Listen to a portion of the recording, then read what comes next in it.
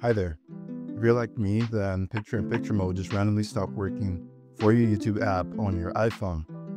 Videos no longer play in the background and you're wondering what could be a potential fix for this. Now, luckily I have two steps and for most people, it's either one of these or a combination of both that will work for them.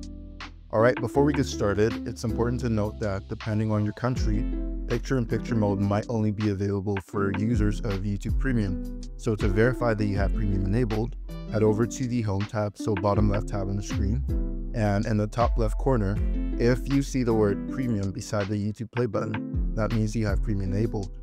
All right, let's go check our location as well. So in the bottom right tab, go to the settings and general and location. And as you can see, mine is set to Canada. Okay, let's get started. So the first and most obvious solution would be to head over to the settings app and enable picture-in-picture mode for the phone in general. And this is necessary because without this, this mode won't work for app-specific use cases.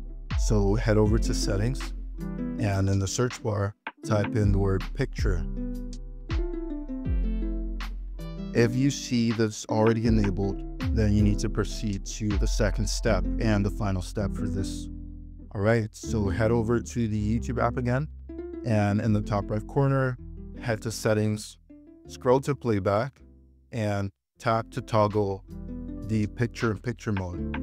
Now restart the app, and by the time you open it again, your videos should now be playing in picture in picture mode.